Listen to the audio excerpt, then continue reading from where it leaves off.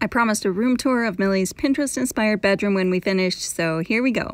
I love the atmosphere of her bedroom right when you walk in. It's warm and inviting, but still magical.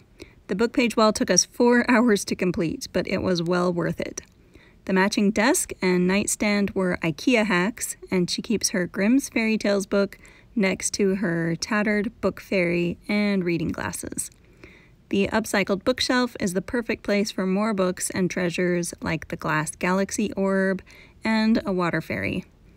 Her desk has a flameless candle, a gilded mirror, and more books, of course, but the pièce de résistance, a Nicolas Cage sequin pillow her sister gave her for Christmas.